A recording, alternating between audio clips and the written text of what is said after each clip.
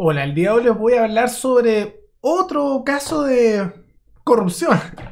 qué triste, qué triste esto, pero esta vez nos toca hablar un poco de un nuevo caso de corrupción, esta vez en el norte de Chile, en la región de Antofagasta, en particular en la comuna de Calama, donde un alcalde de Renovación Nacional de la derecha chilena, siendo Renovación Nacional el partido más grande de la derecha chilena, está asociado a un caso de corrupción en el cual de manera millonaria se compró la vivienda de una prima suya, que además tiene un cargo público, porque sorpresa, sorpresa, todos los familiares en cargo, como si fuera tan raro que ocurra eso, por más de tres veces el monto que estaba valuado y se le pagó más de tres veces lo que realmente cuesta. Una locura, pero vamos a ver en qué consiste y cómo ya la Contraloría ha determinado que, que si hay cosas raras acá, no es una sospecha simplemente, que tanto así que está pidiendo que se devuelva el dinero.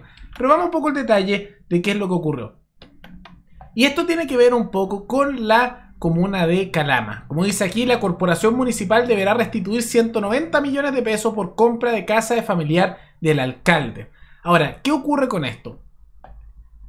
Que el alcalde de Calama, Daniel Augusto, es alguien que salió electo, evangélico, de Renovación Nacional, de ese sector de Renovación Nacional más evangélico, que está ahí como alcalde. Ok, se tiene eso y se observó que en mayo del año 2018 se compró una propiedad que pertenecía a un familiar del alcalde de Calama, que era su prima.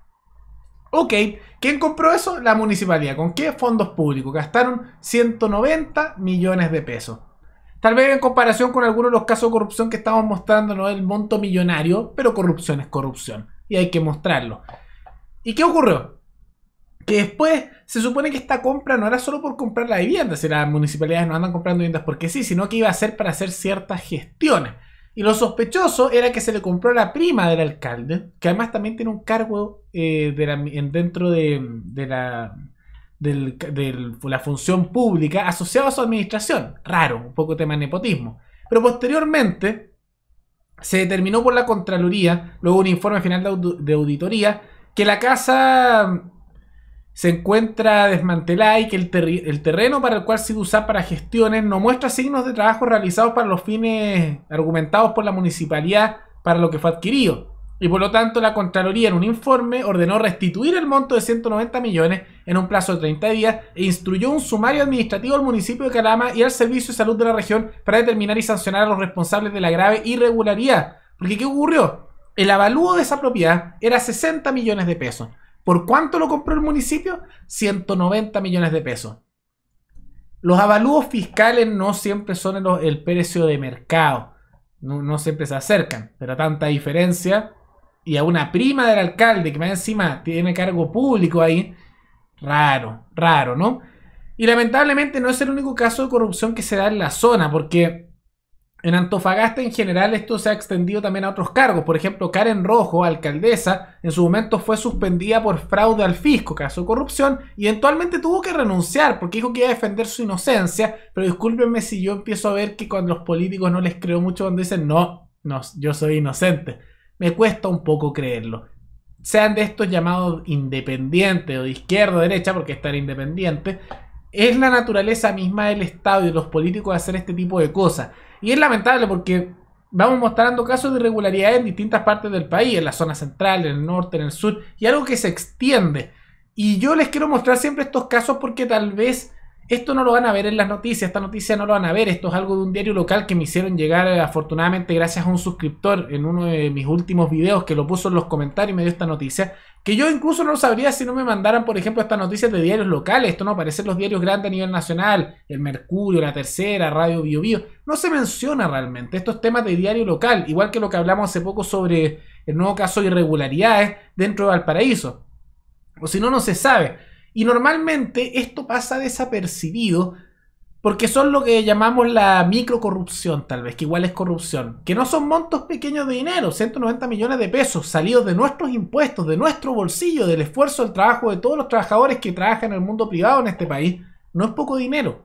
Pero en comparación a los montos millonarios que vemos con irregularidad dentro de los ministerios, dentro del gobierno, los partidos políticos a nivel grande, el ejército, carabineros, hay tanta corrupción con montos tan grandes en otras cosas que esta micro corrupción pasa desapercibida, no se nota tanto. Pero por eso justamente hay que mostrarlo, porque las municipalidades de Chile, sean administraciones de izquierda o de derecha, ya hemos cubierto en este canal situaciones que salen con irregularidades tanto en Recoleta del Partido Comunista, como en Viña del Mar y Valparaíso, Valparaíso del Frente Amplio, Viña del Mar por la UDI, aquí vemos en Calama, que es el caso con Renovación Nacional, es de todo tipo de tendencia ideológica, en las municipalidades hay mucho gasto que no se sabe a qué va, hay mucho dinero malgastado, hay mucha corrupción y nunca se investiga lo suficiente. Y yo lo he visto a veces en los comentarios que ustedes mismos comentan de las cosas raras que ven en sus municipalidades, pero que nunca nadie dice nada. Y es porque como hay estos casos de corrupción más amplios, la gente y los medios se enfocan en eso.